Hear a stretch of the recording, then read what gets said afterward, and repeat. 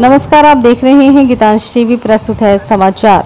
सारठ से शुभम सिंह की रिपोर्ट। छात्र युवा समिति के द्वारा 14 जुलाई को रक्तदान शिविर का आयोजन किया जाएगा।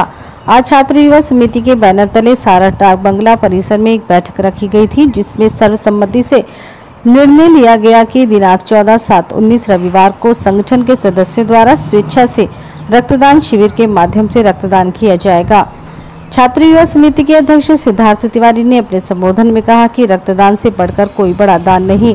रक्तदान करने वाले की सेहत पर भी कोई बुरा असर नहीं होता, बल्कि रक्तदान करने से शारीरिक तौर पर लाभ ही होता है। रक्तदान से मिले रक्त से किसी की ज़िंदगी बचाई जा सकती है। जिनमें मौके पर उपस्थित सिद्धार्थ तिवारी, जयप्रकाश सिंह, अरुण कापड़ी, गौरव यादव, हरिहर मंडल, रंजन राउत, अमित पांडे, गुंजन तिवारी सौभन तिवारी राजेश पंडित, मयंक भोक्ता, संदीप झा, शिवशंकर झा, वसीम अक्रम, दीपक तिवारी सूरज तिवारी, पवन पोधार, जितेंद्र शाह, छोटू सिंह, टुनटुन शाह, कृति सिंह, गुड्डू यादव, अभय रवानी, लक्ष्मण पांडे आदि सदस्यों ने स्वेच्छा से रक्तदान करने का भी निर्णय लिया। धन्यवाद।